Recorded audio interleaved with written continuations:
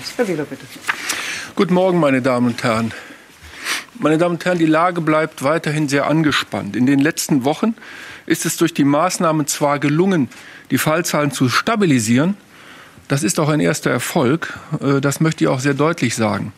Denn ohne diese Maßnahmen wäre die Situation heute sehr viel schlimmer. Dennoch, es infizieren sich immer noch zu viele Menschen mit SARS-CoV-2. Die Zahlen sind immer noch zu hoch. Sie befinden sich auf einem Plateau, aber sie sinken noch nicht spürbar. Wir sehen, dass die Gesundheitsämter zunehmend erschöpft sind. Sie schaffen es zum Beispiel nicht mehr zu ermitteln, wo sich die Betroffenen angesteckt haben. Wir sehen immer mehr Ausbrüche in Alten- und Pflegeheimen.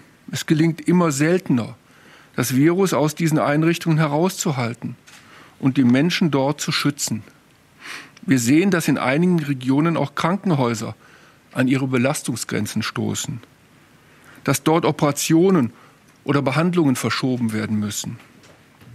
Wir sehen auch, dass die Zahl der schweren Verläufe und der Todesfälle von Woche zu Woche steigt. Da beides immer erst mit einem gewissen Zeitverzug eintritt, müssen wir hier auch mit vielen weiteren rechnen. Diese Entwicklung ist leider nicht überraschend. Es ist die Entwicklung, die wir anhaltend bei hohen, anhaltend hohen Fallzahlen befürchtet hatten. Ich habe in den letzten Wochen betont, dass wir die Neuinfektionen auf ein Level, auf ein Niveau bringen müssen, das für Gesundheitsämter, Krankenhäuser und Labore gut zu bewältigen ist. Um dieses Level zu erreichen, meine Damen und Herren, muss die Zahl der Neuinfektionen aber deutlich gesenkt werden. Ich hoffe sehr, dass wir diese Trendwende gemeinsam schaffen. Wir sind diesem Virus nicht hilflos ausgeliefert. Covid-19 ist eine vermeidbare Erkrankung. Wir können viele Infektionen verhindern. Ganz zentral sind dafür nach wie vor die AH plus L-Regeln. Abstand halten, mindestens 1,50 Meter. Hygieneregeln beachten. Dort, wo das gegeben ist, Alltagsmasken tragen. Und natürlich auch lüften.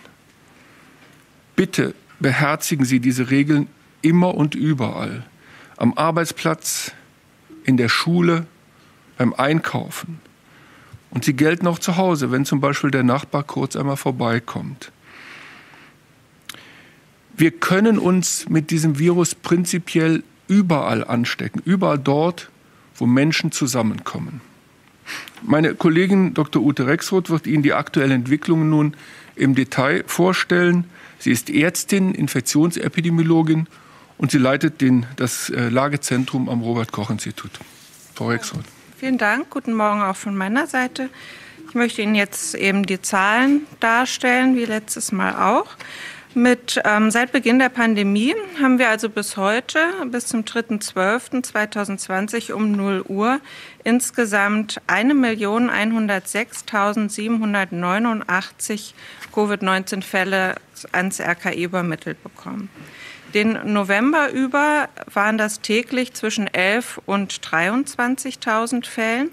Und gestern, also bis heute 0 Uhr, waren es nochmal 22.046 neue Fälle, die uns übermittelt worden sind. Das sind ganz ähnlich viele wie am Mittwoch davor und am vorletzten Mittwoch. Die Fallzahlen sind also weiter auf einem hohen Niveau und sie sinken deutschlandweit noch nicht wirklich spürbar. Der Sieben-Tages-Wert schwankt seit Wochen um die 1. Er ist zuletzt etwas gefallen und liegt aktuell bei 0,89.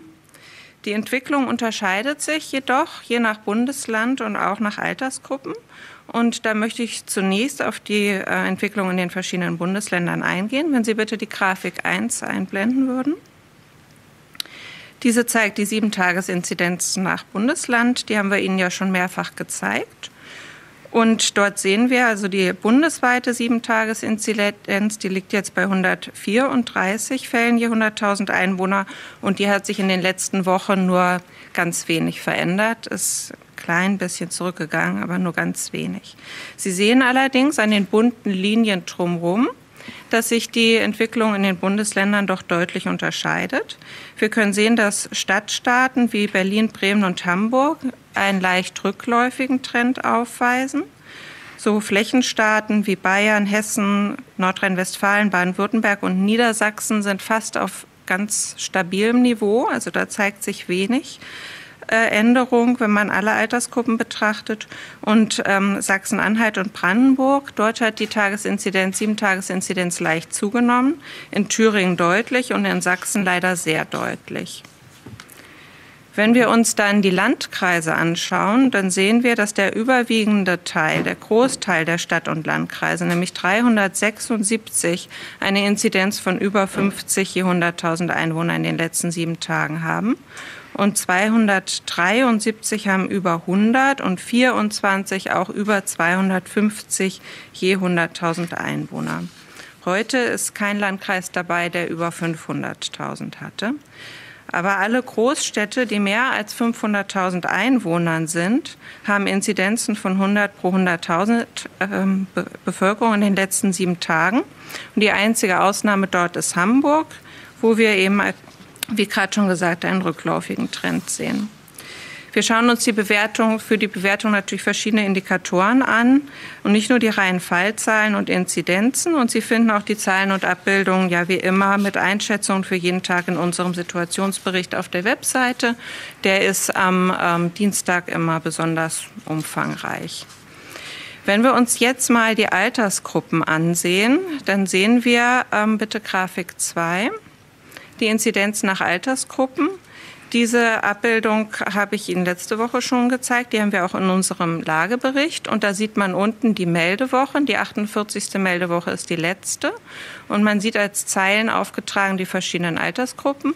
Und wir sind hier jetzt ein bisschen feingliedriger vorgegangen und haben das in fünf Jahresschritten gemacht, sodass man jetzt die meisten Altersgruppen etwas feiner sehen kann. Und je dunkler das Kästchen, desto höher die altersgruppenspezifische Inzidenz eben in genau in dieser Altersgruppe, in dieser Meldewoche. Und da sehen Sie, dass in den letzten Wochen vor allem die jungen Erwachsenen und Erwachsenen, also die 15 bis 59-Jährigen, stark betroffen waren. Am stärksten darunter die 15 bis 29-Jährigen. Und in diesen Altersgruppen lagen die Sieben-Tages-Inzidenzen ja sogar bei über 200 je 100.000. Es zeigt sich allerdings zuletzt ein leichter Rückgang. Wir beobachten allerdings auch, dass immer mehr ältere Menschen betroffen sind und wir sehen, dass die Inzidenz der über 60-Jährigen insgesamt jetzt schon 119 je 100.000 in sieben Tagen beträgt. Das war leider zu erwarten, dass das Virus, wenn es sich in den jüngeren Altersgruppen ausbreitet und dort zirkuliert, dann etwas Zeit versetzt auch in die älteren Altersgruppen, in die vulnerablen Gruppen reinkommt. Und ähm, im Moment sind wirklich viele Menschen über 80 Jahre betroffen. Die Inzidenz in dieser Altersgruppe liegt auch insgesamt bei über 200 je 100.000. Sie sehen in dieser Abbildung, je älter, desto höher. Und sie, das ist auch besorgniserregend, steigt wirklich auch weiter an. In den meisten anderen Altersgruppen stagniert die Inzidenz oder sie geht auch zurück, aber eben nicht bei den Älteren und Hochaltrigen. Und dort sehen wir eben auch jetzt immer mehr Ausbrüche in Alten- und Pflegeheimen. Und dazu wird Herr Wieler Ihnen gleich auch noch ein bisschen mehr sagen. Ja, das führt natürlich weiterhin dazu, dass sehr viele Menschen ins Krankenhaus kommen ähm, und dass auch die Zahl der intensivmedizinisch betreuten Menschen zunimmt. Die ist auch weiterhin hoch, wenn auch glücklicherweise nicht mehr so stark ansteigend wie noch vor einiger Zeit also im Oktober und im November. Also jetzt ist es etwas weniger im Anstieg. Es befinden sich aber trotzdem fast 4000 Menschen, 3919 Menschen mit Stand gestern, soweit wir es vom Divi-Intensivregister wissen, in intensivmedizinischer Behandlung. Ja, und diese Entwicklung zeigt natürlich auch und sorgt auch dafür, dass immer mehr Menschen an und mit Covid-19 sterben. Wir schätzen, dass etwa 800.000 Menschen die akute Infektion überstanden haben. Das ist natürlich sehr gut, aber 17.602 Menschen sind auch daran gestorben. Und die Zahl der ans RKI übermittelten Todesfälle steigt weiter an. Für gestern wurden uns 479 neue Todesfälle übermittelt und für Dienstag waren es 487. Das war unser bisheriger trauriger Höchststand. Wenn Sie jetzt bitte die Grafik 3 einblenden könnten. Genau, diese Grafik zeigt Ihnen nach Sterbewoche, ähm, wie viele Menschen uns als verstorben übermittelt werden. Und wie gesagt, die 48. Kalenderwoche ähm, ist die letzte Woche und da sind auch noch Nachmeldungen möglich. Also zwischen dem Sterbezeitpunkt und dem Zeitpunkt, dass das in unserem Meldesystem sichtbar wird, dass ein Fall verstorben ist, da können noch ein paar Tage vergehen. Dadurch ja, kann sich diese Grafik auch noch ändern. Wir sehen, dass ein Großteil der Menschen, die an Covid-19 versterben, älter als 70 Jahre sind. Die meisten Todesfälle sehen wir in der Altersgruppe der über 80-Jährigen. Hier sind bislang schon 11.572 Todesfälle übermittelt worden. Aber auch in der Gruppe der 60 bis 69-Jährigen sind bislang mehr als 1500 Menschen verstorben. Und auch in der Altersgruppe der zwischen 50 und 59-Jährigen haben wir über 500 Todesfälle registriert. Natürlich können auch jüngere Menschen schwere Verläufe haben und auch an Spätfolgen leiden. Das ist aber zum Glück seltener, eben als in den älteren Altersgruppen. Zusammenfassend kann man sagen, dass das Virus in der jüngeren Bevölkerung zirkuliert und wenn es dort zirkuliert, dann eben nach einer gewissen Zeit auch in die älteren, in die vulnerablen Gruppen, in die Risikogruppen getragen wird. Und das führt eben zu mehr schweren Verläufen und Todesfällen.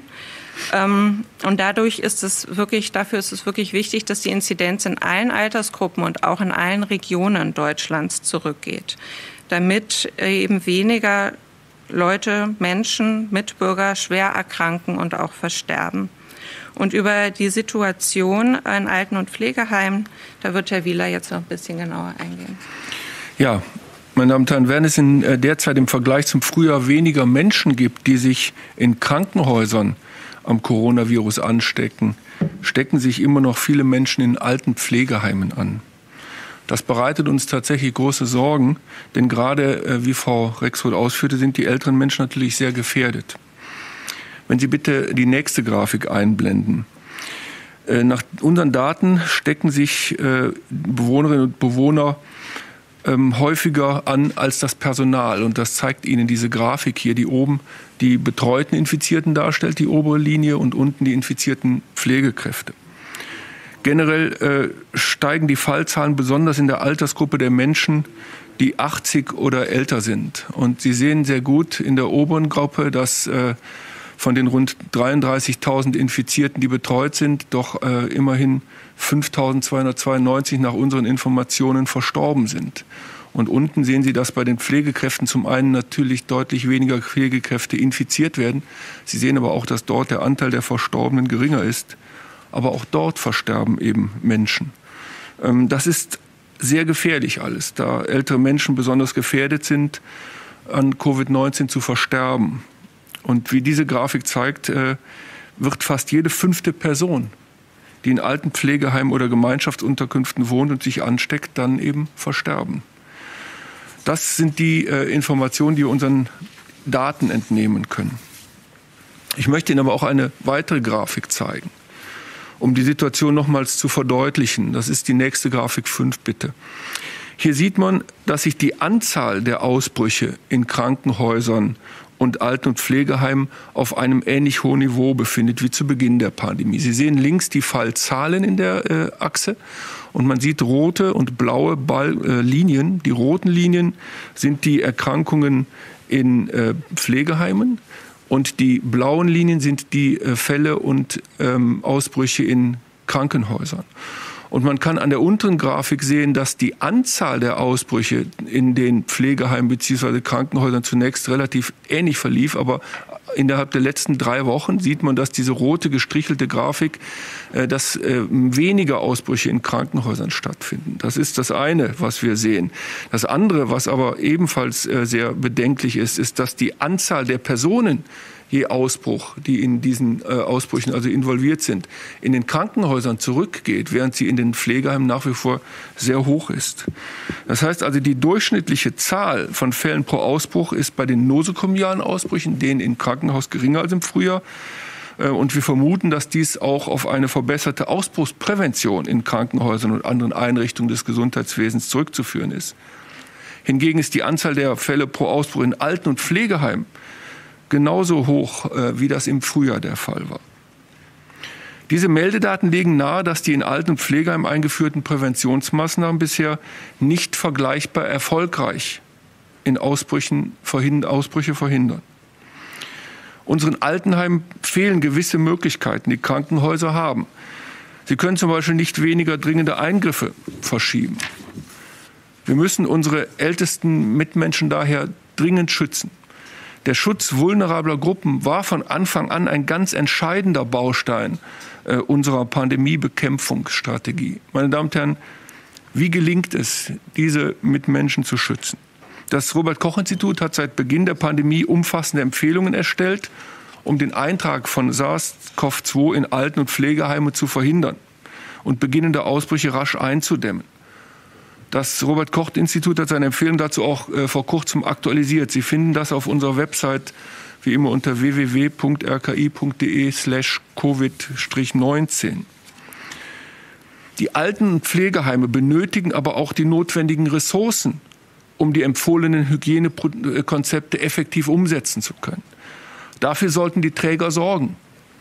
Die Heime müssen zudem in der schnellen und effektiven Erkennung und Eindämmung von Ausbrüchen mit Hilfe der Gesundheitsämter unterstützt werden. Wir sind jedoch, meine Damen und Herren, wir sind jedoch alle in der Verantwortung, das Virus einzudämmen, um unsere ältesten Mitmenschen zu schützen. Hierbei reicht es nicht, dass wir uns zum Beispiel am Arbeitsplatz Mühe geben. Das Virus kennt keine Grenzen und keine Uhrzeiten.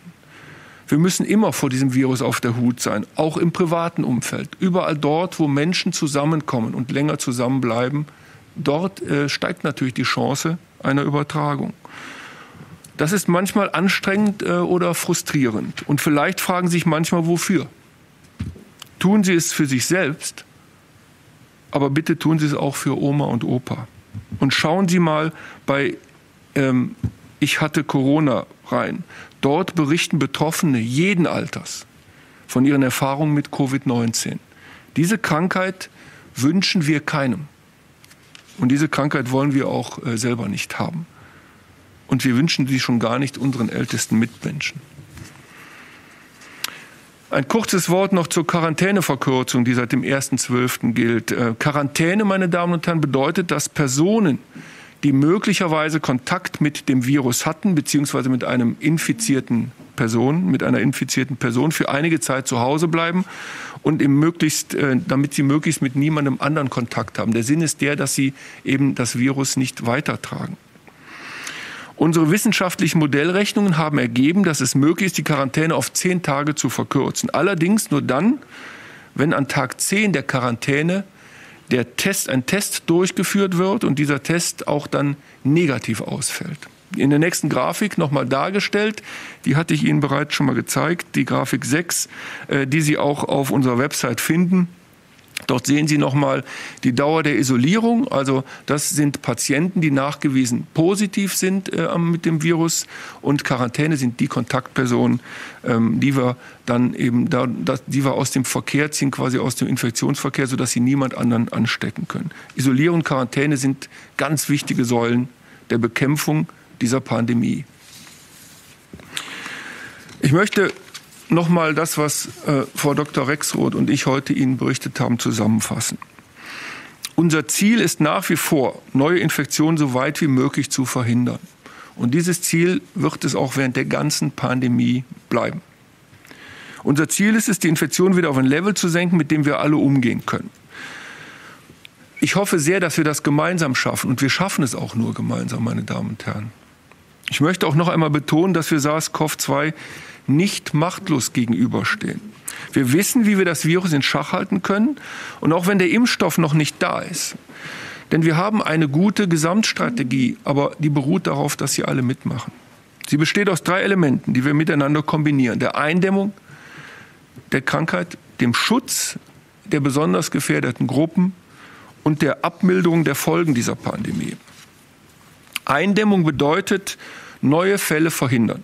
Dazu können wir alle beitragen. Das wissen Sie, das weiß ich. Äh, wir sollten es einfach tun. Schutz heißt besonders gefährdete Gruppen schützen. Mildung bedeutet, dass man die Auswirkungen der Pandemie abmildert, zum Beispiel dadurch, dass man die Behandlungskapazitäten ausweitet bzw. bessere Therapien erarbeitet. Und das, meine Damen und Herren, ist in den letzten Monaten auch geschehen. Aber diese drei Elemente müssen unbedingt weiter aufrechterhalten bleiben. Die ganze Zeit, bis diese Pandemie beendet ist. Noch einmal zum Verständnis. Das Virus verbreitet sich überall dort, wo Menschen zusammenkommen. Das muss nicht immer eine große Party sein. Das Risiko ist immer da. Besonders wenn Menschen ohne Abstand und Masken zusammenkommen. Jede und jede einzelne von uns kann dazu beitragen, Infektionen zu verhindern. Darum lassen Sie uns die AH plus L-Regeln in allen Alltagssituationen beherzigen. Und bitte lassen Sie uns alle unsere Kontakte reduzieren. Und wenn die Symptome einer akuten Ateminfektion auftreten, dann bleiben wir bitte alle grundsätzlich mindestens fünf Tage zu Hause. Diese Maßnahmen werden uns noch lange begleiten, solange bis ein relevanter Teil der Bevölkerung durch eine Impfung geschützt ist. Und allen, die diese Maßnahmen berücksichtigen, möchte ich noch einmal sagen, sie schützen sich selber und sie schützen aber auch andere. Und sie tun es auch für Oma und Opa. Ihnen ist es zu verdanken, dass vielen Menschen schwere Erkrankungen und Leid erspart geblieben sind und auch zukünftig erspart bleiben. Dafür möchte ich mich im Namen von allen sehr, sehr herzlich bei Ihnen bedanken.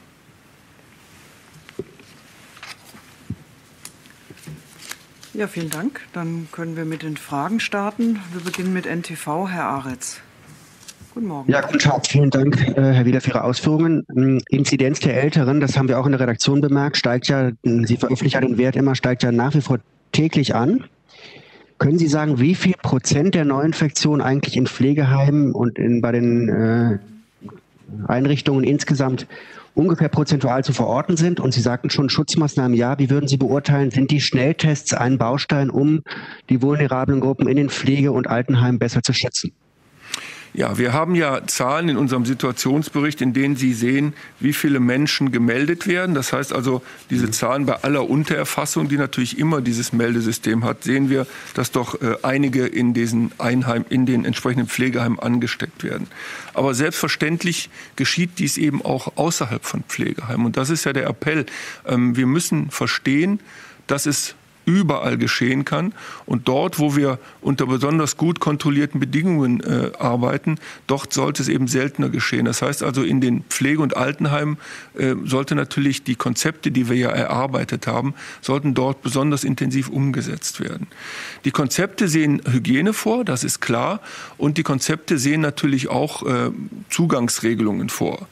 Die Konzepte sehen vor, dass alle, die in diesen Einrichtungen arbeiten, Mund-Nasenschutz tragen. Die Konzepte sehen auch vor, dass diejenigen, wenn Fälle wirklich etabliert sind, dass man bestimmte Kohortierungen durchführt, dass man Gruppen trennt, wenn dies möglich ist, nach Nicht-Infizierten, vielleicht Infizierten und Infizierten.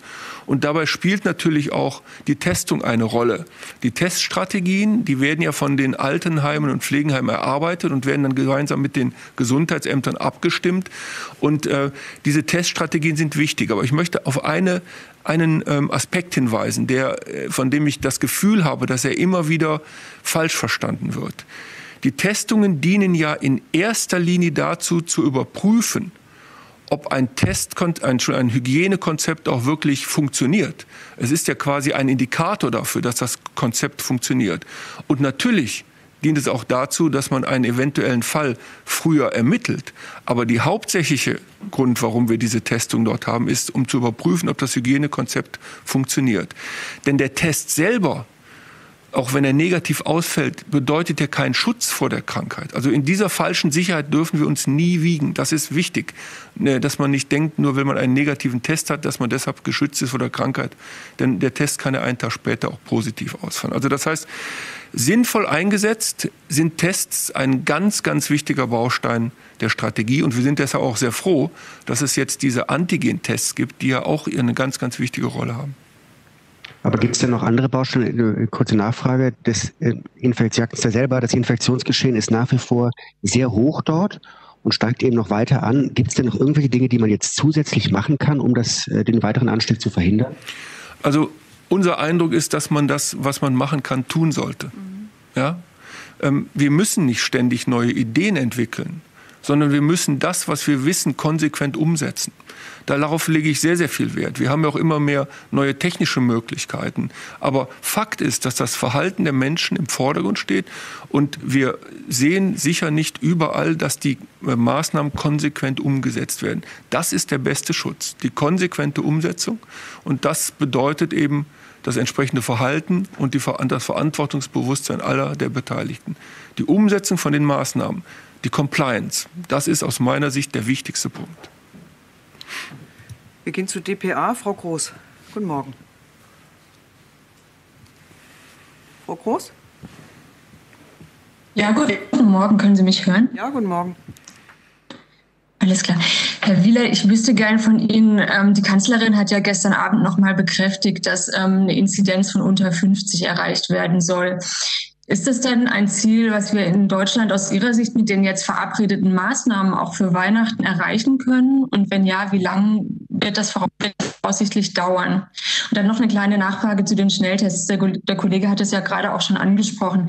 Jetzt hat es geht, ähm, die Fallzahlen zu senken. Es geht nicht wahnsinnig schnell. Also wir brauchen ziemlich viel Geduld und Beharrlichkeit, aber es, äh, es geht. Ob das jetzt wirklich innerhalb ähm, dieser dieser Zeit an allen Orten oder auch im insgesamten Bundesdurchschnitt möglich ist, das hängt, wie Herr Wieler gesagt hat, wirklich von der Compliance ab. Ähm, und wir brauchen auch ein bisschen Geduld, um zu, ja, zu sehen, ähm, ob die Maßnahmen wirken oder dass sie wirken. Und es muss eben wirklich, wie gesagt, in allen Altersgruppen und in allen Regionen auch umgesetzt werden. Aber in, an einzelnen Stellen geht das auf jeden Fall. Ja, also das ist der entscheidende Punkt. Das hängt maßgeblich von der Compliance ab. Also es hängt maßgeblich vom Verhalten der Menschen ab, wie schnell das machbar ist. Es ist prinzipiell machbar. Zu Ihrer zweiten Frage mit den Tests. Die Tests sind wichtige strategische Mittel, aber sie müssen eben auch sinnvoll und wichtig eingesetzt werden. Und da gibt es ja entsprechende Empfehlungen, gerade für die Schulen, weil Sie das ansprachen, gibt es ja ebenfalls Empfehlungen. Und in den Schulen, ähm, da ist es natürlich ganz klar, dass wir auch Infektionsgeschehen dort haben. Und äh, wir sehen, dass in den Schulen das Infektionsgeschehen, die Dynamik der Bevölkerung quasi hinterherläuft. Äh, wir hatten ja nach den Sommerferien die Schulen wieder geöffnet und wir haben erst dann deutlich später auch mehr Fälle in den Schulen gesehen und einen Anstieg in der Inzidenz in diesen jüngeren Altersgruppen. Die Entwicklung dieser Inzidenz äh, scheint parallel zur Entwicklung der Inzidenz der jungen Erwachsenen zu verlaufen. Und diese Ausbrüche, wir nehmen ja auch äh, immer mehr Ausbrüche im Schulsetting wahr. Wir haben insgesamt äh, bis gestern 636 Ausbrüche in Schulen übermittelt bekommen. In den letzten vier Wochen waren das 64 Ausbrüche pro Woche. Das heißt also, auch in den Schulen macht es natürlich Sinn, im Rahmen, aber wie gesagt, nur im Rahmen eines gesamten Hygienekonzeptes, und da gibt es ja klare Empfehlungen vom Robert Koch Institut, im Rahmen eines klaren Hygienekonzeptes sind diese Testungen sinnvoll. Und äh, es wäre am besten, wenn es doch äh, einen bestimmten Lehrer zum Hygienebeauftragten äh, ernannt würde, dieser natürlich auch entsprechend weitergebildet wird von den lokalen Behörden um äh, dann diese Tests sinnvoll einzusetzen. Dazu bedarf es einer gewissen Kenntnis, aber das ist, äh, das ist wirklich machbar. Aber ich sage es nochmal, die Tests haben wirklich nur dann einen wirklich hohen Erfolgsaussicht, wenn sie in eine Gesamtstrategie, und zwar in die Umsetzung der Empfehlung des Robert-Koch-Instituts für Schulen eingebettet sind. Vielen Dank. Wir gehen zu RTL. Dankeschön. Hallo, Tamara Bilic von RTL. Auch noch mal eine Frage zu den Schnelltests äh, von den Schulen. Jetzt mal vielleicht zum Thema Veranstaltungen. Wäre, äh, wären die Schnelltests zum Beispiel auch eine neue Strategie, um Veranstaltungen zeitnah wieder zu ermöglichen? Also die Schnelltests dienen dazu, dass sie in dem Moment, wo sie testen, mit einer gewissen Wahrscheinlichkeit Menschen identifizieren, die positiv sind oder negativ sind. Wenn Personen positiv getestet werden, dann müssen sie sich isolieren. Aber ich möchte noch mal Folgendes sagen. Diese Schnelltests sind Momentaufnahmen. Und ähm, alle Zusammenkünfte und je mehr Menschen zusammenkommen, alle Zusammenkünfte behalten trotzdem ein Risiko, weil diese Schnelltests natürlich nicht 100 Prozent sicher sind. Also sie können das Ergebnis nicht für 100 Prozent bare Münze nehmen. Und darum halte ich nach wie vor die Maßnahme, dass man Zusammenkünfte von vielen Menschen einfach unterbindet für die effektivste Maßnahme. denn dort können Infektionen zustande kommen. Ja? Und solange wir ein bestimmtes Niveau nicht äh, unterbrochen haben, also solange wir diese 50 pro 100.000 nicht erreicht haben, sind Zusammenkünfte von Menschen einfach ein Risiko, das wir aus Infektionsschutzgründen nicht äh, eingehen sollten. Dankeschön. Wir gehen zum NDR. Herr Grill. Guten Morgen. Ähm, ich habe eine Frage zu den Impfzentren. Ähm, mehrere wissenschaftliche Fachgesellschaften haben ja kritisiert, dass die Daten der Geimpften dort nicht an die Krankenkassen übermittelt werden. Das heißt, so wie das Modell jetzt konstruiert ist, gibt es keine Möglichkeit, zum Beispiel seltene und schwere Nebenwirkungen in den Routinedaten zu, zu entdecken. Ähm, finden Sie das richtig, diese Daten zu erheben, indem zum Beispiel die Versicherten ihre Versichertenkarte beim Impfen einlesen? Also der entscheidende, es gibt zwei Gründe oder mehrere, aber ich sage Ihnen die zwei wichtigsten Gründe aus meiner ähm, Wahrnehmung, warum wir Impfzentren benötigen. Äh, der eine Punkt ist der, es ist natürlich logistisch und da muss jeder einfach mal in Ruhe drüber nachdenken. Es ist logistisch natürlich eine riesige Aufgabe, wenn wir 10, 20, 30 Millionen Menschen impfen wollen, kontrolliert impfen wollen, nach einem bestimmten Bestellsystem impfen wollen. Äh, das kann man nur in Zentren schaffen. Das ist äh, momentan gar nicht anders möglich. Wenn wir einen bestimmten Prozentsatz der Bevölkerung geimpft haben, dann wird das sicher auch in Arztpraxen möglich sein. Der zweite Punkt, warum wir aber gerade Impfzentren brauchen, ist genau der, den Sie nennen. Wir wollen nämlich die Nebenwirkungen so gut wie möglich monitoren. Und dafür sind die Daten, die wir über die Krankenkassen bekommen, deutlich zu langsam. Wir brauchen die Daten sofort. Das heißt also, es werden dort entsprechende Systeme etabliert. Auch das Robert-Koch-Institut selber ist involviert in die Etablierung einer bestimmten Software, wo diese äh, Dinge genau gemonitort werden, nachuntersucht werden und dann eben direkt äh, zentral erfasst werden können. Das ist ein ganz wichtiger Aspekt, dass wir, dass wir beschreiben, nicht nur die Schutzwirkungen dieser Impfung, sondern die Nebenwirkungen. Und wir dürfen uns auch über eines, äh, müssen wir uns auch klar sein. In, in Deutschland sterben ja im Schnitt so rund 2005, 2700 Menschen jeden Tag.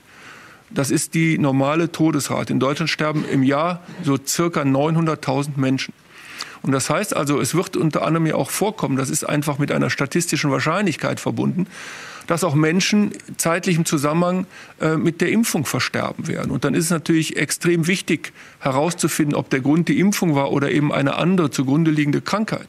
Denn wir werden ja auch am Anfang gerade die Hochrisikogruppen impfen. Und das sind ja gerade auch die alten und hochaltrigen Menschen die ja äh, natürlich ebenfalls ein höheres Risiko haben zu versterben, ganz einfach, weil sie schon ein hohes Alter erreicht haben. Und genau deshalb brauchen wir Impfzentren und eine zentrale Erfassung von den Nebenwirkungen. Ich habe eine Nachfrage dazu, äh, weil mir leuchtet es ehrlich gesagt nicht ganz ein, wenn die Menschen, die geimpft sind, anschließend äh, Beschwerden haben, dann gehen sie damit äh, zu ihrem Arzt, ihrem Hausarzt. Und diese Daten werden dann sozusagen ja an die Krankenkassen übermittelt. Wie wird das kombiniert jetzt? Wie werden diese Daten kombiniert mit den zentral da erhobenen Daten in den Impfzentren? Dafür sorgt eine Software, ein Portal, das wir zur Verfügung stellen.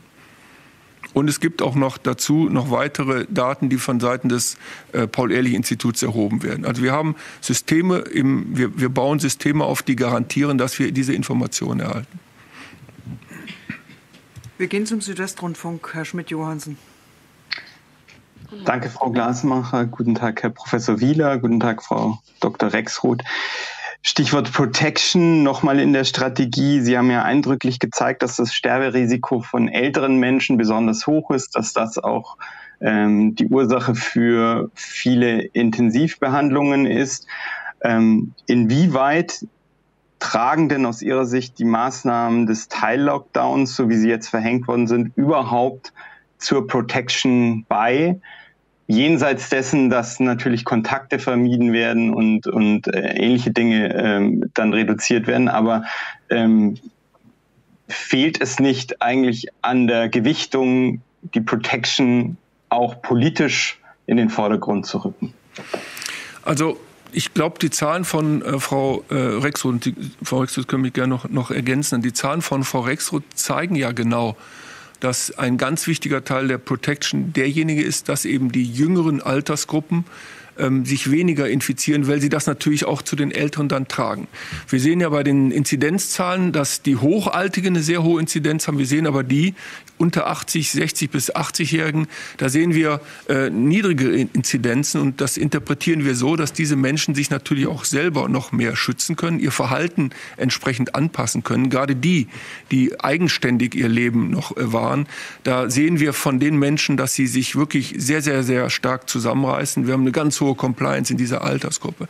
Darum denke ich, dass die Maßnahmen ähm, der gesamten Kontaktreduktion das nach wie vor Wichtigste sind. Aber ich möchte das noch mal sagen, die Protection, über die wir jetzt sprachen, gerade im Altersheim, Pflegeheim, das sind ja Menschen, die sind, äh, die leben dort und die sind schutzbedürftig. Die können von den Einrichtungen oder müssen von den Einrichtungen geschützt werden, so gut es geht.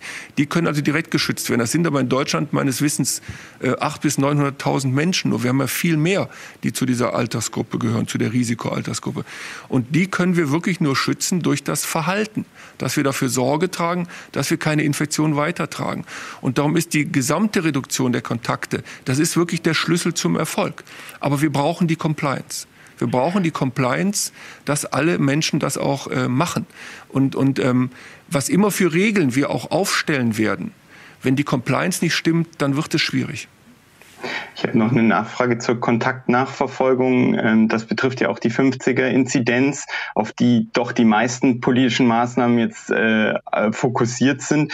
Das äh, System SORMAS soll ja flächendeckend bis Ende des Jahres bei allen Gesundheitsämtern eingesetzt werden. Ähm, das wären wenn ich richtig informiert bin, noch 300 Gesundheitsämter, die das bis Jahresende einführen müssten. Wie sieht es da aus? Sind Sie da optimistisch, dass das gelingen kann? Also ich kann Ihnen ich, die Zahlen nicht genau nennen. Ob das bis Jahresende gelingt, das vermag ich nicht zu sagen. Ich weiß nur, dass sehr viele Anstrengungen durchgeführt werden, dass es eingeführt wird. Und insofern wird es auch eingeführt. Ähm, das ist ja ein System, was aber ausschließlich die Kontaktnachverfolgung im Mittelpunkt hat. Das heißt also, äh, das, das erleichtert, wenn es implementiert ist, den Gesundheitsämtern sicher die Kontaktnachverfolgung und erhöht damit auch die Chancen, dass man eben Kontakte schneller findet. Ich, gehe ich kann Ihnen nicht genau sagen, äh, das Datum Datum, aber das wird zügig mit, mit, mit äh, Hochdruck der aktuell in, in immerhin an, an, annähernd 400 Gesundheitsämter ähm, eingeführt. Ich möchte dazu noch eins sagen. Leider Gottes ist es in Deutschland so, dass es eben keine einheitliche Meldesoftware gibt. Wir stellen ja vom Robert-Koch-Institut die Software SurfNet kostenfrei den Gesundheitsämtern zur Verfügung. Und äh, da ist ja auch äh, ein, ein wesentlicher Punkt, dass eben die Schnittstellen zu SORMAS hier da hergestellt werden. Und die kann man dann natürlich dann direkt äh, anbinden. Aber es gibt eben leider in Deutschland verschiedene Softwaren. Und deshalb muss dieses SORMAS an verschiedene Softwares verknüpft werden und, und Schnittstellen gebaut werden. Und das äh, verlangsamt natürlich den Prozess. Das ist, ist aber so in Deutschland. Ich glaube, wir haben inzwischen, wie viel sind an Surfnet haben inzwischen 250 oder irgend sowas. Also auf jeden Fall mehr als die Hälfte am Surfnet. Aber die anderen haben. Haben die hier was versäumt im Sommer? Das ist weniger Versäumnis als das ist, der, das ist äh, der Föderalismus, der eben in den letzten Jahren einfach dazu geführt hat, dass nicht eine einheitliche Software benutzt wird. Ja? Danke. Dank. Vielen Dank. Wir gehen zu AP, Herr Jordans. Guten Morgen. Guten Morgen. Meine Frage an ähm, Herrn Wieler oder Frau Rexroth. Andere Länder, ähm, die teils viel höhere Infektionen hatten, äh, haben inzwischen stark rückläufige Zahlen, also in Europa. In Deutschland ist die Kurve zwar abgeflacht, aber die Fälle stagnieren ja. Hat Deutschland es verpasst, eine schnellere Reduktion der Zahlen zu schaffen? Und welche Maßnahmen sehen Sie woanders, die womöglich besonders effektiv waren?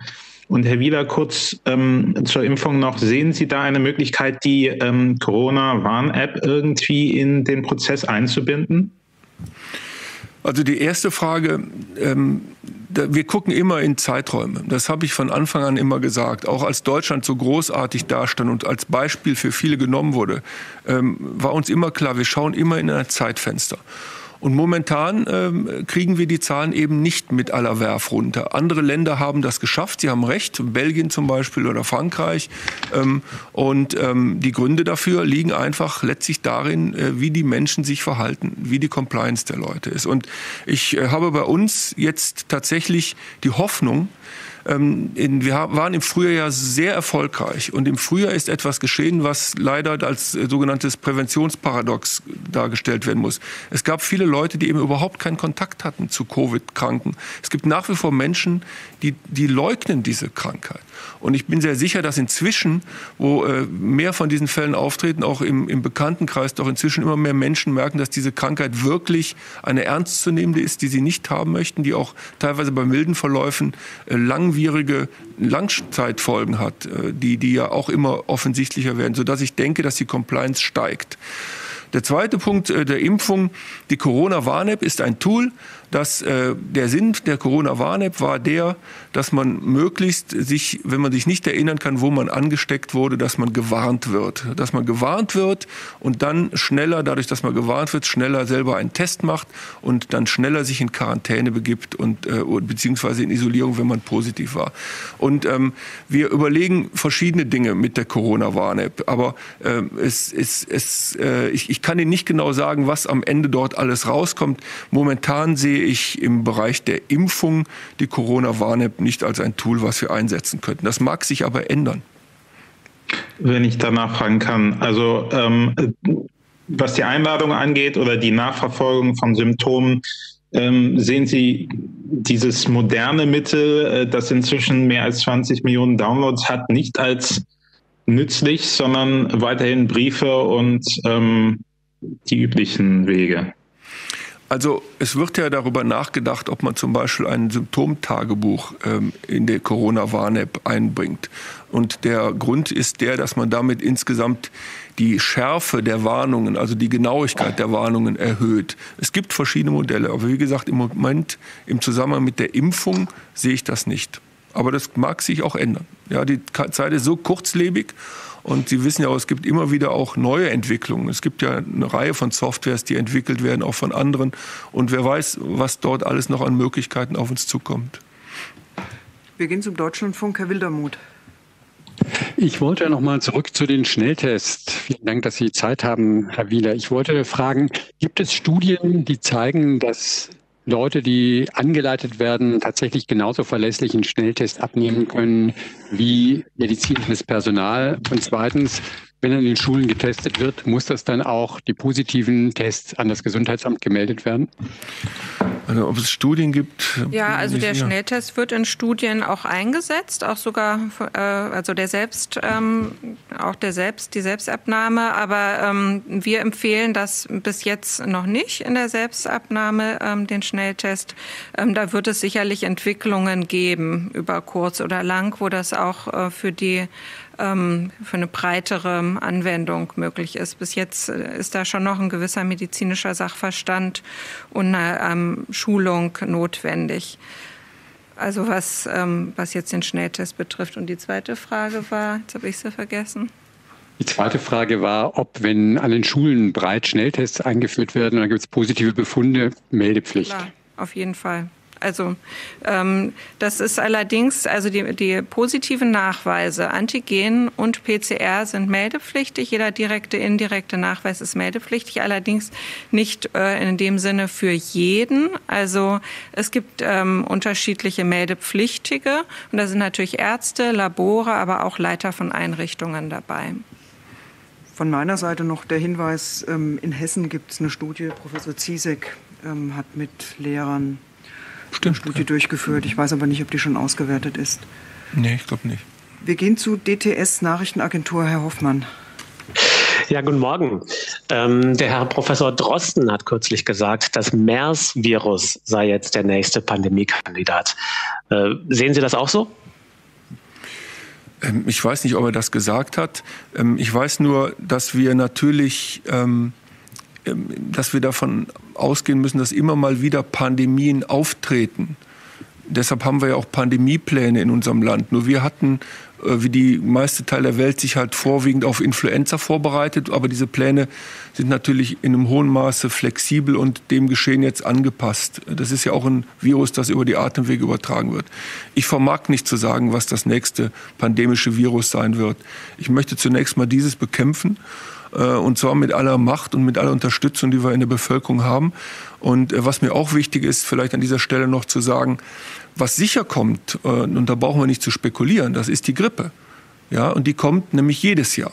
Und äh, wir wissen aber nicht, wie stark die Grippe sein wird in diesem Jahr. Und äh, wir wissen auch nicht, welche Viren, es gibt ja immer verschiedene Grippeviren, die wir durch diesen Impfstoff abdecken, wie viel es sein, wenn wir wissen nicht die Krankheitslast. Aber was ich eben auch hier nochmal klar sagen möchte, jetzt, heute und die nächsten Wochen und Monate schützen wir uns mit den Maßnahmen, die wir aufgrund von Covid fahren, also Abstand halten, Hygieneregeln, Masken, schützen wir uns natürlich auch vor Grippe. Und das ist jetzt erstmal vorne, dass wir möglichst eine flache Grippewelle haben. Insofern wäre ich umso glücklicher, wenn diese Maßnahmen auch konsequent durchgeführt werden, unter anderem auch in den Schulen. Warum in den Schulen ist es dann gerade wichtig? Bei Influenza, bei Grippe wissen wir, dass die Schulen ein ganz, ganz wichtiger Teil des Geschehens sind. Also da sind die Schulen, die jungen Kinder wirklich immer richtig ein, etwas, was wir als Treiber bezeichnen. Und das heißt also, wenn wir in den Schulen die Hygienekonzepte fahren, die jetzt von uns empfohlen werden, dann werden wir damit auch das Grippegeschehen reduzieren. Und das ist zunächst mal deutlich wichtiger, weil wir aktuell und ganz sicher diese Grippewelle haben werden. Wir wissen nur noch nicht genau, wie stark sie ist. Wir gehen zu Frau Rosbach. Sagen Sie noch mal Ihre Redaktion dazu. Süddeutsche Zeitung. Ich habe eine Frage ähm, zum Thema Impfen beziehungsweise der Reihenfolge, in der geimpft werden soll. Gestern hat ja die Bundeskanzlerin nochmal deutlich gemacht, dass die Feinabstimmung durch die Ständige Impfkommission und das ähm, äh, äh, dem Gesundheitsministerium als Empfehlung gegeben werden sollte, dass aber ähm, man da abhängig sei von ähm, dem Zulassungsverfahren, also dass da quasi alle Unterlagen, die in dem Zulassungsverfahren eine Rolle spielen, eben auch vorliegen und bekannt sind. Mich interessiert mal aus, aus wissenschaftlicher Sicht, warum ist das eigentlich so? Ich meine, wir wissen doch schon relativ viel über den Impfstoff, so viel, dass Großbritannien ihn schon zugelassen hat. Warum müssen wir jetzt für die Feinabstimmung, wer wirklich zuerst geimpft wird und in welcher Reihenfolge, darauf warten, dass äh, ähm, dieses ähm, EMA-Verfahren vorankommt? Naja, ähm, ich kann Ihnen das sagen, warum das so ist. Es gibt ja diese drei klinischen Phasen. Äh, die dritte ist ja diejenige, die uns natürlich am meisten interessiert. Die kommt ja erst nur zustande, wenn die ersten beiden erfolgreich durchgelaufen sind. Und diese äh, einzelnen Daten, da sind meines Wissens über 400.000 Menschen äh, geimpft worden, entweder mit dem Verum, also mit dem Impfstoff, oder mit äh, einem Placebo. Das sind die wichtigen Daten. Die zeigen uns ja genau, wie die Schutzfunktionen äh, äh sind und sie zeigen uns vor allen Dingen auch, wie, wie die Nebenwirkungen sind. Das sind extrem wichtige Daten und wir tun gut daran, wenn wir die in Ruhe studieren, ob sich dann noch Änderungen in unseren Einschätzungen ergeben, das vermag ich ja nicht zu sagen. Wir bekommen die Daten jetzt äh, dieser Tage erst. Aber ähm, auf diesen Daten beruht ja die ganze Zulassung. Also ich, äh, wir, wissen ja, dass die ganze Zulassung relativ rasch erfolgt. Und ich glaube, äh, zwei, drei Tage länger noch zu warten, um diese Zulass um diese Daten richtig zu analysieren, das sollten wir uns schon alle geben und auch der EMA geben. Denn ähm, sie müssen immer äh, auch klar davon ausgehen, dass wir natürlich immer wieder auch äh, viel Kritik haben werden. Wir, wir haben Menschen äh, in unserer Gesellschaft, die ja sogar richtig aktive Impfgegner sind. Und wir werden natürlich auch Nebenwirkungen haben. Und wir werden sicher äh, nichts tun, das uns im Nachhinein vorgeworfen werden könnte, wir hätten nachlässig mit Informationen werden wir umgegangen. Nein, wir müssen seriös, so gut wie möglich, nach bestem Wissen und Gewissen die Daten, die wir haben, auswerten. Ich hätte noch eine Nachfrage dazu, aber die Leute, die dann sozusagen als erstes dran sind, die müssen ja auch eingeladen werden und dafür ist ja auch eine gewisse Infrastruktur notwendig. Ähm, kann man die denn dann vorab schon aufbauen, sodass man dann wirklich ohne Zeitverzögerung loslegen kann? Ja, also, die, ähm, also für die Impfung sind ja die Bundesländer zuständig und die bauen ja diese Zentren auf. Ja, die bauen die Zentren auf und äh, ich bin da sehr optimistisch, dass das dann auch zeitnah erfolgt. Ähm, und wenn es mal ein Tag oder zwei Tage länger dauert, das ist ein logistischer Aufwand. Da sollte man auch äh, immer mit gesundem Menschenverstand drangehen. Aber äh, es wird alles in, in einem ziemlich großen Tempo gemacht. Mit Sicherheit wird es hier und dort auch mal äh, kleine Fehler geben oder Versäumnisse. Aber prinzipiell bin ich da sehr, sehr von überzeugt, dass wir die Struktur auf die Beine bekommen. Und da wird eine Zulassung um ein, zwei Tage früher oder später, wird dort keinen Unterschied machen. Wir gehen zu Frau Gillmann, Handelsblatt. Ja, hallo. Eine Frage nochmal zu den Schnelltests. Sie haben ja darauf hingewiesen, dass die nicht hundertprozentig oder zumindest lange nicht so sicher sind wie ein PCR-Test. Ähm, wissen wir, wie sicher sie sind und wissen wir das für die einzelnen Tests? Und die andere Frage ist, die WHO empfiehlt neuerdings Masken tragen auch zu Hause, wenn ich Besuch habe, auch wenn ich Abstand halte. Was sagen Sie dazu? Also ähm, war ein bisschen unglücklich ausgedrückt von mir. Es gibt natürlich keinen 100% sicheren Test, den, den gibt es prinzipiell nicht, aber wir haben Tests, die eben eine sehr, sehr hohe Sicherheit, Genauigkeit, äh, Spezifität und Sensitivität haben. Das sind die PCR-Tests. Das ist der sogenannte Goldstandard, der über viele Jahre in vielen anderen Bereichen ähm, wirklich sehr, sehr gut verifiziert wurde, akkreditierte Methoden sind. Wir machen ja viele Diagnostik mit PCR in der Infektionsmedizin und anderswo. Die Schnelltests werden geprüft, sie werden äh, validiert. Darin ist das Robert Koch Institut auch äh, Darin ist das Robert Koch Institut involviert in diese Tests. Und es gibt eine Liste beim BfArM, also beim Bundesinstitut für Arzneimittel und Medizinalprodukte. Äh, dort stehen die Tests drauf. Und die Tests, die dann bei der Validierung durchfallen, die werden dort gestrichen. Ähm, was wir momentan sehen, ist, dass die Tests vor allen Dingen halt äh, gut geeignet sind dafür, infektiöse Patienten zu erkennen. Sie müssen sich vorstellen, es gibt immer eine Phase also wo man infiziert ist als Patient. In der Zeit hat man noch keine Symptome und es ist eine Zeit, wo man dann sehr viel Virus ausscheidet und am Ende ist man immer noch infiziert, aber man scheidet nicht mehr aus. Das heißt, es gibt eigentlich drei Phasen. Phase A ist infiziert ohne Ausscheidung. Phase B ist infiziert mit Ausscheidung. Da kann man also andere Menschen infizieren. Und Phase C ist, man ist immer noch infiziert, aber scheidet auch nicht mehr aus. Und diese Phase B, das heißt die Phase, wo das Virus in einer Menge ausgeschieden wird, dass wir denken, dass da andere angesteckt werden, die kann man mit diesen Antigentests ganz gut ähm, erkennen. So Aber äh, Entschuldigung, wenn ich, wenn ich da nachfragen darf. Ähm, Sie sagen, die, die durchfallen, werden äh, durchgestrichen. Aber was heißt das jetzt? Es gibt Berichte von einzelnen Schnelltests, wo sich dann äh, irgendwie 20 Leute im Pflegeheim negativ getestet wurden und dann hat man einen PCR-Test hinterhergeschoben und dann war die Hälfte halt doch positiv. Also kann man das irgendwie in Prozent angeben? Nee, das kann ich nicht tun. Äh, das tut mir leid, weil es eben so viele Tests gibt. Wir prüfen die natürlich nach bestem Wissen und Gewissen durch. Und natürlich haben auch die Hersteller eine Pflicht, sogenannte Post-Marketing-Studien zu machen, um die Qualität der Tests weiter zu prüfen. Ja. Aber ab, ab, ab wann fällt man dann durch als Test und äh, was muss man mindestens liefern, um auf diese Liste zu kommen? Gute Frage, die ich Ihnen nicht beantworten kann. Moment, da müsste ich nochmal nachfragen. Es gibt Kriterien, ich habe es aber nicht im Kopf. Wir gehen zu web.de. Ähm, Herr oder Frau Fieber? Guten Morgen, äh, Herr Fieber. Guten Morgen. Ähm, Herr Wieler, Sie haben gesagt, dass äh, die Lage weiterhin sehr angespannt äh, bleibt. Ähm, wenn man uns die Zahl der Neuinfektionen und auch der Todesfälle ansieht, dann ist das ja tatsächlich so. Ähm, aber gibt es etwas, einen, einen Trend, ähm, der Ihnen trotz alledem Hoffnung macht? Ja, das hat Frau Rexroth ja gut dargestellt. Sie hat ja gezeigt, äh, und wenn Sie in unseren Situationsbericht gucken, dann glaube ich, sehen Sie den auch ganz gut.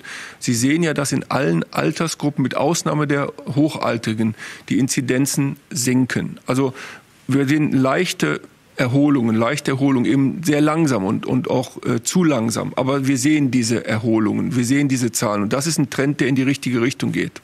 Und ich kann es nur noch mal sagen, ähm, ich, ich wäre einfach glücklich, wenn wirklich alle von uns diese Krankheit so ernst nehmen und wahrnehmen, dass sie versuchen, sich so gut wie möglich an diese Regeln zu halten. Wissen Sie, ich weiß, dass das ja auch gar nicht jedem gelingen kann. Es gibt ja verschiedene Lebenszustände, es gibt verschiedene Wohnumstände. Wir wissen, dass es eine bestimmte Gruppe gibt von Menschen. Es sind natürlich wie immer die Ärmeren, die prekär Lebenden, die haben ein größeres Problem, diese Regeln einzuhalten. Aber die, eine Großteil der Bevölkerung kann diese Regeln einhalten. Und ich kann immer nur wieder an diese Menschen appellieren, dass wir das alle tun. Denn damit äh, bringen wir natürlich auch den, reduzieren wir auch den Druck auf die anderen. Also es liegt wirklich an unserem Verhalten. Diese Pandemie lebt nur von unserem Verhalten. Dieses Virus springt nur über, wenn wir ihm die Chance geben. Das heißt also, ich kann immer nur an uns alle appellieren, dass wir das ernst nehmen und damit wir die Zahlen runterkriegen. Und, und das ist der Optimismus, den ich habe. Äh, ich weiß, dass die Mehrheit der Bundesdeutschen das ja auch versteht und tut. Aber ich weiß, dass es ja sogar Menschen gibt, die selbst die Krankheit leugnen. Und äh, das ist bitter bedauerlich, weil die riskieren nicht nur ihre eigene Gesundheit, sondern eben auch leider die Gesundheit ihrer Mitmenschen. Wir gehen zu, Andre an, zu Andreas Rinke. Sagen Sie noch Ihre Redaktion dazu, bitte. Ja, hallo, Andreas Rinke von Reuters. Ähm, Herr Wieler, Sie haben ja jetzt eindrucksvoll beschrieben, gerade am Anfang, dass äh, im Moment vor allem die Älteren sich anstecken.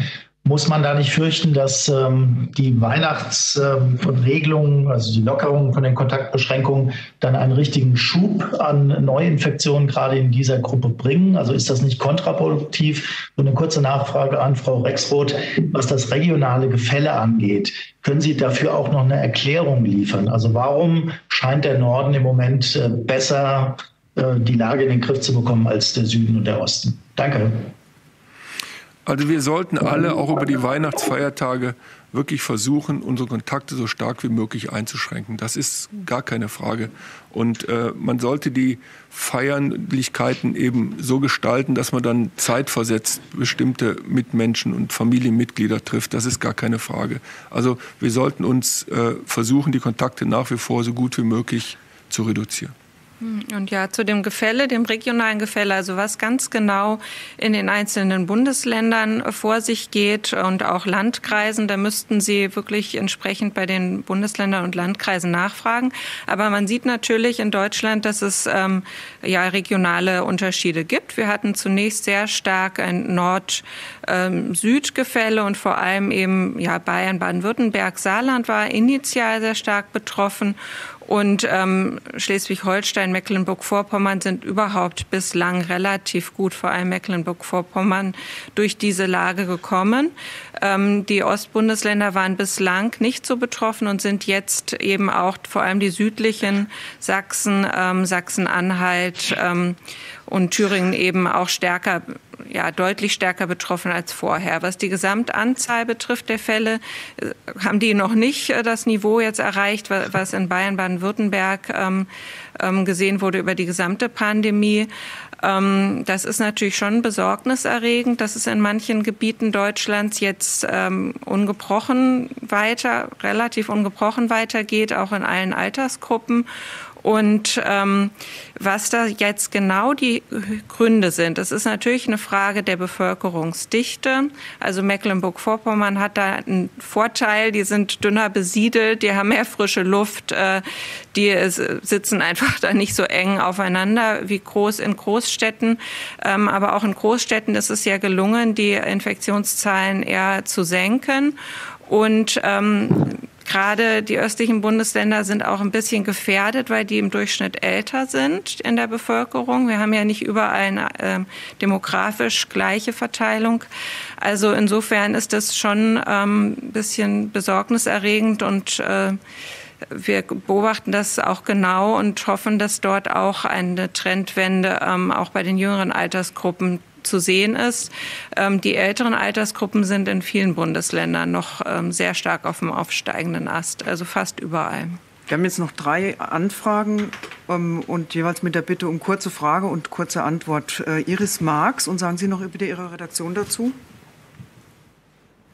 Ja, hallo, hier ist Iris Marx vom Rundfunk Berlin-Brandenburg. Ich wollte nur nachfragen, ob ähm, eventuell halt das hohe Niveau der ähm, gemeldeten Infektionen eventuell doch damit noch zusammenhängen kann, dass vielleicht mehr getestet wird oder ist das einfach jetzt kein Argument mehr? Mhm.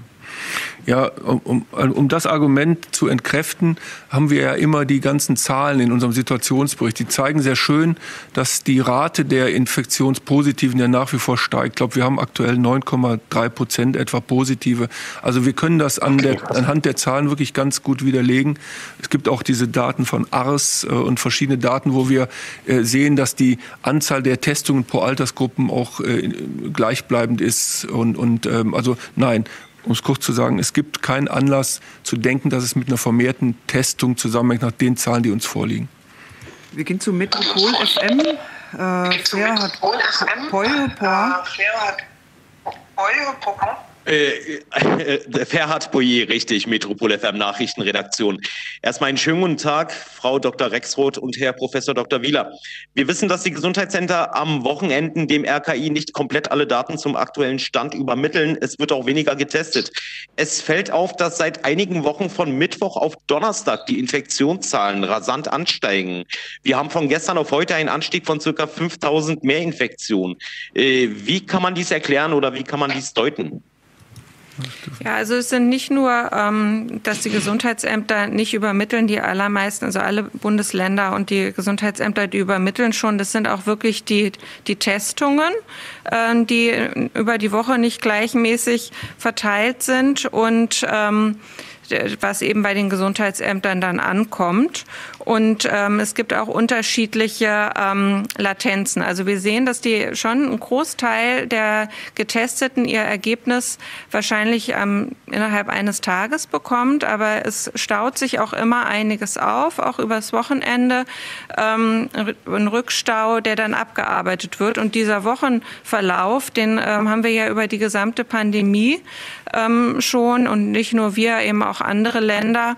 Und äh, das ist äh, verschiedene Faktoren. Das ist auch in Anspruchnahme ähm, von Bürgern. Sie müssen wissen, man wird ja nicht sofort so schwer krank, dass man jetzt zu jeder Tages- und Nachtzeit getestet wird, sondern man, ähm, es gibt verschiedene Testindikationen. Es ist die Symptomatik, ähm, wann, wann gehe ich zum Arzt. Das ist auch ein ehrlich gesagt normaler Verlauf im Gesundheitswesen, ähm, dass man da einen Wochenrhythmus sieht. Wir müssen die letzte Frage, ähm, Blended Interview, Herr Bohre. Ja, schön, äh, vielen Dank. Äh, zunächst nur ganz kurz, ich würde mich freuen, könnten Sie noch mal einmal kurz die Zahl sagen, wie viel Prozent der Bevölkerung in Deutschland der Covid-Risikogruppe angehören, weil das äh, in der Berichterstattung hin und wieder doch sehr unterschiedlich noch äh, dargestellt wird. Und meine eigentliche Frage, ähm, es wird in den Medien ja viel immer noch natürlich diskutiert über Corona-Maßnahmen. Äh, ich meine jetzt auch nicht die Gespräche mit sogenannten Corona-Skeptikern, sondern was weiß ich, Beispiel eine kritische Wortmeldung vom Kölner Professor Matthias Schrappe neulich im ZDF, äh, der die Grundlage, die Datengrundlage der RKI ja, ja, ich komme so zu meiner Frage. Also es gibt auch Experten, Expertenmeinungen, die immer noch sehr kritisch äh, sind gegenüber Datengrundlage oder Maßnahmen. Nun hat man sie, Herr Wieler, ja in den letzten Monaten nie gesehen auf solchen Podien, wo andere Wissenschaftler und Experten miteinander über Maßnahmen oder Gefährlichkeit äh, diskutieren. Warum ist das so?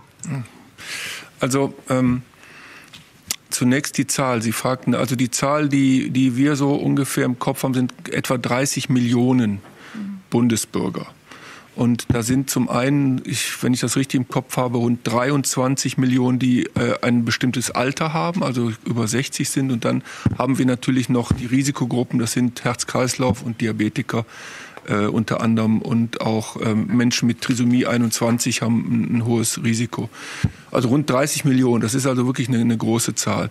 Der andere Punkt ist der, ähm, nun ich mache ja diese Pressebriefings und wir äußern uns als Robert-Koch-Institut ja kontinuierlich auch über die Situationsberichte und ähm, äh, nehmen ja auch viele von den Kritiken auf. Also wir haben über die letzten Monate auch immer wieder Kritiken äh, äh, wahrgenommen, die wir auch für berechtigt hielten und haben dann entsprechend Änderungen eingeführt. Das ist eigentlich ähm, das Ganze, was ich dazu sagen kann.